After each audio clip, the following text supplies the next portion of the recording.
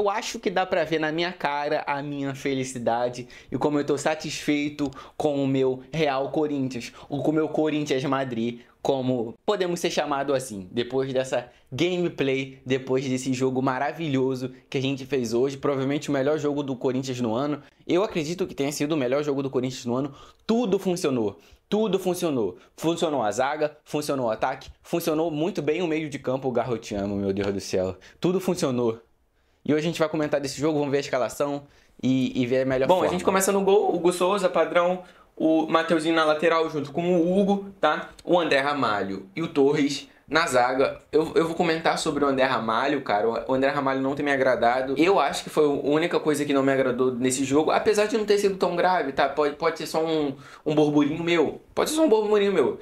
Porque o Corinthians, o, o Corinthians hoje foi acima da média. Então pode ser apenas um burburinho, né? Mas a gente vai ver no, no, nas jogadas. Martini jogou muita bola, muita bola, muita bola. Martini jogou muita bola, tá? O, o Bidon, cara, o Bidon é, é um grande amor meu, tá? Bidon, eu quero, eu quero que você, que você tenha sucesso na sua carreira. Eu gosto muito de você, meu padrinho, beleza?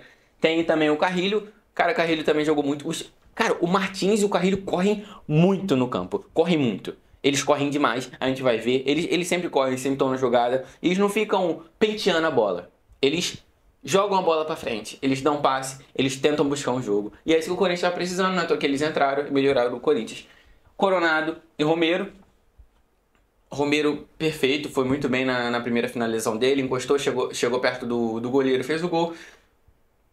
É isso que era pro Yuri Alberto fazer, mas o Yuri Alberto deu passe, cara. O Yuri Alberto jogou muito bem esse jogo também. Obrigado, Bebetinho. Você finalmente está funcionando, beleza? E agora a gente e vamos ver os lances, né? Vamos ver como é que foi esse jogo aí, que foi o melhor jogo do Corinthians, né? Então vamos, vamos dar uma olhada, beleza? Aqui a gente já começa com a jogada do Yuri Alberto, começo do primeiro tempo, aos 11 minutos. Me vem o Yuri Alberto e dá uma roubada de bola sinistra. Sinistra, pô. Foi uma roubada de bola linda, vamos dar uma olhada. Ele rouba a bola, né? Infelizmente o Coronado não deu passe pro Yuri Alberto. O Yuri Alberto estava sozinho nessa jogada, né? Ele preferiu bater direto pro gol. Mas tá tudo bem Primeiro, no primeiro tempo, começo do primeiro. 11 minutos de jogo, vamos testar o goleiro. E esse goleiro é bom demais, maluco. Ô doidão, você é muito é bom, mano. O, eu tava vendo pelo SBT, né, no YouTube, os caras estavam falando que ele tinha que ir pra seleção brasileira. E por um momento, eu achei que ele deveria ir pra seleção brasileira mesmo. E esse cara é, é um. Que isso, maluco? Esse cara é muito bom, rapaziada. Esse goleiro é bom demais, tá? Mas, tudo bem que eu, não, eu acredito que o nosso Neneca é melhor, né? Claro que eu vou acreditar, eu sou corintiano. Mas o cara, o, o, goleiro Fortaleza foi o grande, a grande chave para não ter tido mais gols, tá? Porque esse cara é bom demais, beleza? Vamos continuar vendo. Anotem isso. Yuri Alberto foi decisivo nessa, nesse jogo, cara. Eu, eu pensei que eu nunca falaria isso. Yuri Alberto foi decisivo nesse jogo. Foi um jogadorzaço, tá? Vamos continuar vendo. Bom, nessa jogada aqui a gente tem o mesmo problema que o André Ramalho tá tendo e teve em todos os tempos, desde quando chegou no Corinthians a meia bola. Ele não sabe recuar, recuar uma bola pro meio de campo. Ele, ele, ele joga na bolinha, na, na, meia bola da área. Sabe aquela meia bola da área? Ele sempre joga ali, tá? E dessa vez, graças a Deus a gente tem o Martins, né? Martins levou uma bolada, vocês vão ver aqui na jogada. Acabou levando uma grande uma bolada, né? Mas conseguiu tirar. Então, assim, o André Ramalho tem esse defeito. A gente já tomou três gols por conta do André Ramalho nessa mesma bola. Então, é, é, um costume dele. Eu pensava que era um. Não, ele teve azar, ele cabeceou de forma errada. Mas não, ele tem esse tipo de problema. Eu espero que ele pare com esse problema, porque a gente já sofreu gol dessa forma, que ele entrega, deixa sozinho. Ou reforça com o Martins sempre, bota o André Ramalho jogando com o Martins, que não vai ter esse tipo de problema, porque o Martins sempre vai estar na bola, beleza? Que foi o que aconteceu. Joga sempre essa bola essa bola, essa bola não pode ser. Não pode ser. Ele ainda dá uma acrobacia ali, acaba fazendo um, um malabarismo e consegue tirar da área né? É, é uma loucura isso que o André Ramalho faz. Essa é a minha única crítica no jogo, tá? É do André Ramalho. Eu acho que ele tem que parar de jogar a bola recuada ali. Ele tem que zunir a bola. Zune a bola pro, pro goleiro adversário. Mas não bota a bola, a bola ali, que é muito perigoso pro Corinthians, porra. É óbvio. Tá na frente da, do, da, da grande área, cara. Isso não pode acontecer. Beleza? Ele tem esse costume, espero que pare. Eu, com esse vídeo, com certeza, ele não vai, vai parar, vai continuar fazendo merda. Vai continuar fazendo merda. Mas é, é um ponto a se ver, não é? É um ponto a se ver. Vamos continuar.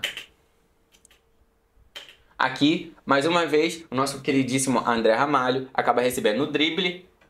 e o Hugo acaba defendendo o gol. Cara, o Hugo fez uma boa partida, não tomou nenhum gol, apesar de ter boas chances. Teve um gol que foi anulado, a gente vai ver ainda nesse vídeo, tá? Mas o André Ramalho perdendo um contra um, então acho que o André Ramalho foi o pior do Corinthians hoje. O, André Ramalho foi o pior do Corinthians hoje, mas não que ele tenha jogado mal. Você, você tá entendendo? Hoje o Corinthians jogou num nível tão alto, num nível tão bom, que eu acredito que o André Ramalho jogou mal, mas ao mesmo tempo jogou muito bem. Tá entendendo é, a, a, a ideia que eu tô tentando ter? Ele, ele, ele, ele, não jogou mal, tá? Ele não jogou mal, ele cometeu erros, tá? Eu peço desculpa a minha expressão. Ele não jogou mal, ele cometeu erros. Erros que poderiam ter causado gols, tá? Mas foram erros, beleza? Vamos continuar vendo o, o, os replays. Bom, aí. já nesse próximo clipe a gente pode ver que a gente tem um, um grande jogador conosco, tá? Que é o nosso querido Martins ele realmente tem jogado muito bem, ele quanto o Carilho, eles têm sido peças fundamentais pro nosso, pro nosso jogo, pro nosso estilo de jogo. A gente vai ver aqui, é, o Carequinha, não sei o nome dele, acaba recuando uma bola lá pro coisa.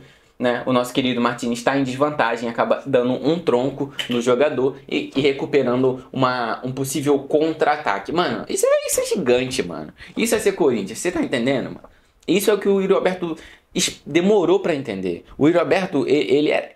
Ele era, não, ele é ruinzinho, né, tadinho do meu menino. Mas, cara, assim.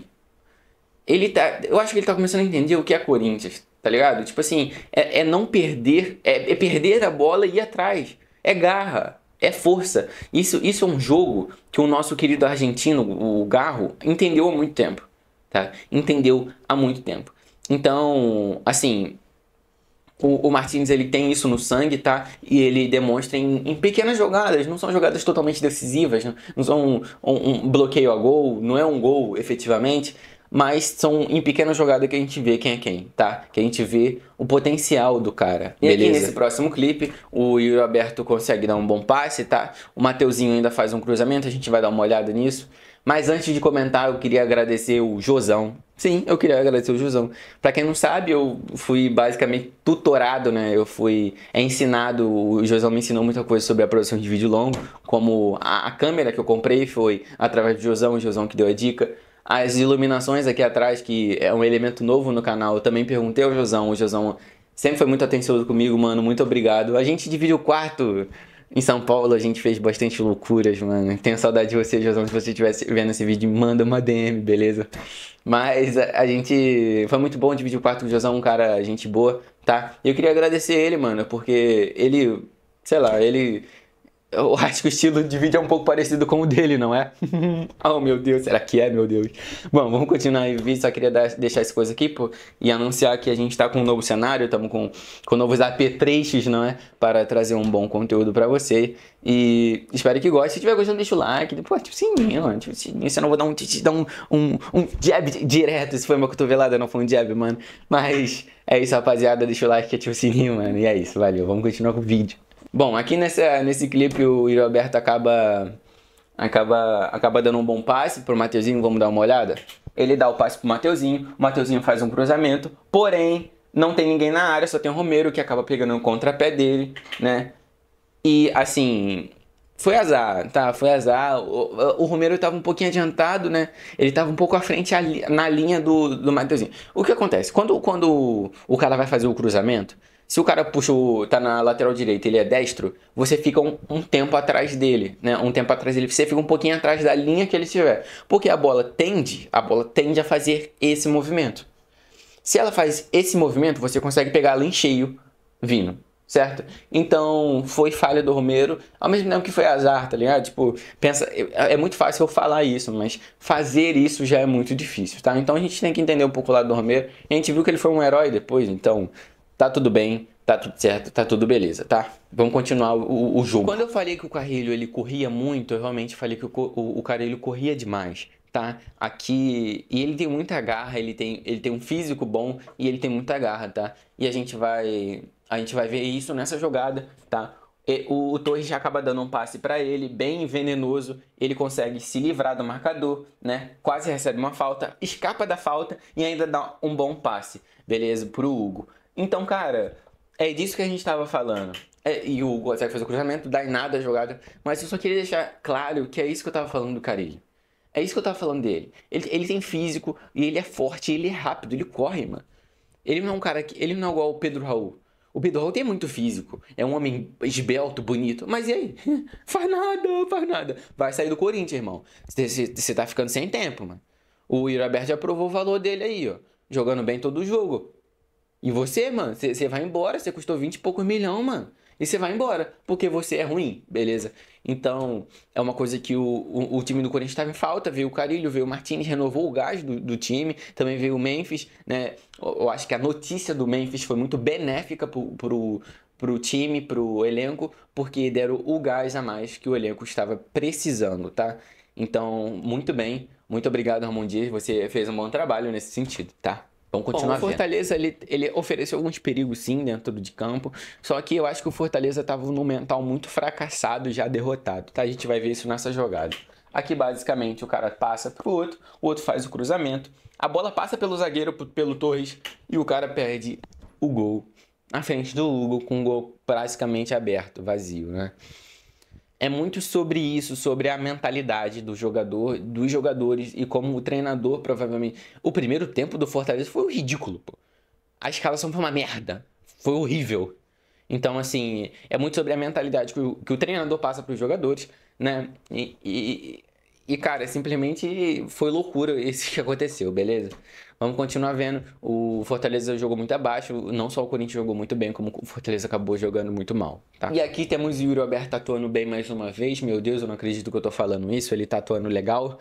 E olha a jogada que ele faz. Ele dá o passe para o nosso queridíssimo. Olha, olha que lindo, ai meu Deus. Romero, Romero, Romero. Ele, ele corta para a esquerda, taca, taca no contrapé do goleiro. Ele faz como manda o dever de casa, tá? Então, é o nosso jogador, tá? O nosso Romero, mais de 200 gols aí, né? É, 200? É 200? É 150? 200? É muito gol, é, é gol demais, meu Deus. É gol, gol mais, que, mais que cabe na minha mão, tá? Então, acabou marcando o gol. Em seguida, logo na sequência, tem outro gol, tá? A gente tem outro gol. Se eu não me engano, 5 minutos depois a gente faz outro gol. Com também um passe do Yuri Alberto, que acabou batendo. Ele foi um passe do Yuri Alberto pro Romero, que bateu, espalmou, o goleiro espalmou e acabou batendo o Coronado sobrando sozinho no gol e acabou fazendo, porque era um gol simples e fácil. 2 a 0 4 a 0 no agregado, a gente pensando, todo mundo comemorando, meu Deus, obrigado, meu Deus, Corinthians acordou. Vou soltar o vídeo pra vocês. Vou soltar o vídeo pra vocês. Ah, é. Como, como eu me esquecer. O, o Fortaleza ainda acabou metendo esse golaço aí, mas acabou sendo anulado por algum motivo que eu nem lembro que era, que eu tava feliz demais. E aqui, e aqui tem mais um gol, né? Aqui tem mais um gol. Memphis Depay dribla, o zagueiro toca e o Pedro acaba fazendo o gol sozinho. Bem tranquilo, bem de boa, tá? Então, assim, esse foi o jogo de hoje. Eu quero agradecer a todo mundo que assistiu até aqui. Deixa o like, se inscreve. O Vai Corinthians, mano, vai Corinthians porque Corinthians. Corinthians tá mudado, mano. Eu tô muito feliz, tá? Podem apostar a casa no Corinthians. Mentira, não fazem isso não. Aposta não, tá? Quero saber o que vocês acharam do cenário. A dica do Josão foi, foi boa? Como é que é? Beleza? Muito obrigado, rapaziada. Fiquem com Deus. Tamo junto. Valeu!